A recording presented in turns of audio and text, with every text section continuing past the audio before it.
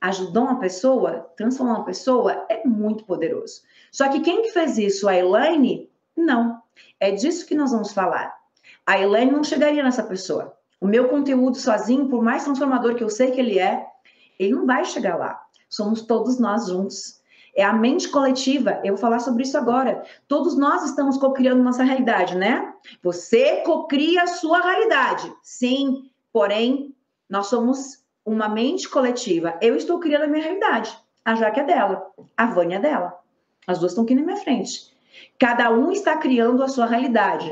E aí, nós estamos compartilhando nossas realidades com um infinito número de pessoas ao nosso redor, que estamos entrelaçados quanticamente.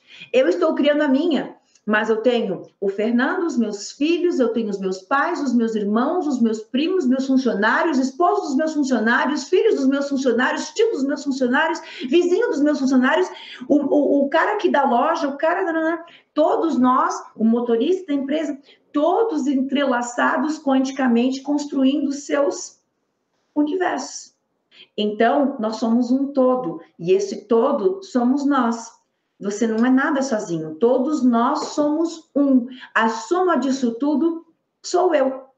Então, quanto mais alta a minha energia, quanto mais consciência eu tiver, quanto mais consciência, quanto mais consciência, mais sucesso eu tenho. Mais eu compreendo aonde eu estou, para onde eu estou indo, como chegar lá.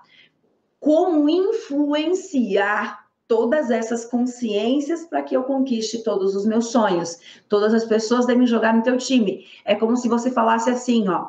Ah, mas a minha, a minha mulher, ela é contra a minha profissão. Ela não quer que eu, sei lá, vamos supor que você faça aquilo que eu faço, tá? Porém, a pessoa que está com você, ou tua mãe, ou teu pai, ou teu cônjuge, ele é contra o que você faz. As pessoas só são contra aquilo que nós fazemos, elas, elas são elas só são contra os nossos sonhos. Por que eu estou falando sobre isso? Faz sentido para você? Se eu tenho um sonho, eu crio a minha realidade, mas a energia das pessoas que estão ao meu redor vai influenciar. Eu e a Jaque tivemos uma conversa sobre isso hoje à tarde, quando eu estava no aeroporto. Ela é minha sócia. Então, é, para eu conquistar os meus objetivos, nós duas precisamos estar alinhadas. Os meus sonhos precisam ser o sonho dela. Eu vou conquistar aquilo que eu quero se o sonho dela for diferente? Vou, mas eu vou demorar muito mais.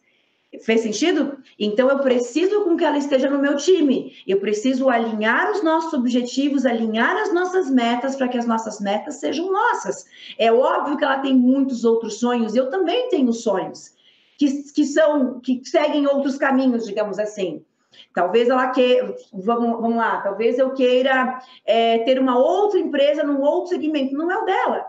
E ela nem tem interesse nisso, ótimo, isso é muito legal, mas nós temos objetivos em conjunto. E eu vou alcançar os meus objetivos mais rápido quando ela, que é minha sócia, que trabalhamos juntas, estivermos alinhadas, quando os meus sonhos são os dela também. Onde eu quero chegar? Vamos supor você e teu, você e teu marido você e tua esposa.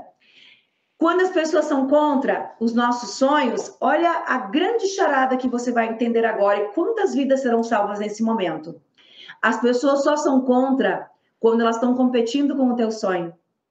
Só isso. Se ela faz parte do teu sonho, ela está do teu lado.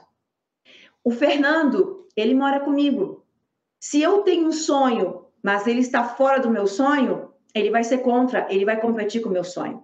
Mas se o meu sonho, ele faz parte desse sonho, ele está inserido no meu sonho, ele faz parte, ele vai me ajudar a conquistar. Do contrário, se ele não faz parte do meu sonho, ele vai competir com o meu sonho, vai me impedir com que eu realize, porque ele está competindo com esse sonho. Então, muitas vezes, nós queremos ser apoiados, nós queremos que essas pessoas estejam ao nosso lado, nós queremos o apoio do pai, da mãe, é, dos nossos relacionamentos, até mesmo dos nossos filhos, só que a comunicação, o nosso sentimento não é de aprovação. A primeira pessoa que está nos rejeitando somos nós mesmos. Nós temos medo de não ser aprovados, medo de não dar certo, medo. E é exatamente essa informação que está sendo devolvida para você. Então, existe a questão de você ajustar o teu sonho, de você acreditar que você é capaz, que as pessoas estão com você, de você calibrar isso e de você inserir essas pessoas no teu sonho. O que, que adianta, por exemplo, eu ouvir uma, uma seguidora, né? Ah, porque meu sonho é mudar de cidade, mas os meus filhos não querem. Meu, meu marido não quer. Você tem um sonho e ele tem outro sonho. Vocês estão desalinhados. Você pode co-criar essa realidade? Pode, mas é muito mais energia porque não é o sonho dele. E você não pode interferir no livre-arbítrio dele. Então, quando você alinha esse sonho, as pessoas fazem parte. Se você é um treinador, se você entra ao vivo, se você tem que estudar muito para fazer aquilo que você faz, para conquistar o quê? Para chegar aonde? O quanto essa pessoa faz parte desse sonho. Então, quando você soma e você insere ela no teu sonho, faz parte ela passa a te apoiar, porque passou a ser um sonho dos dois e não um sonho individual. Esse, para mim, é a grande charada para você alinhar essa energia, porque isso tem tudo a ver com, com prosperidade, com dinheiro, com abundância, que é o alinhamento vibrátil que é necessário para que você possa realmente prosperar e conquistar os teus sonhos.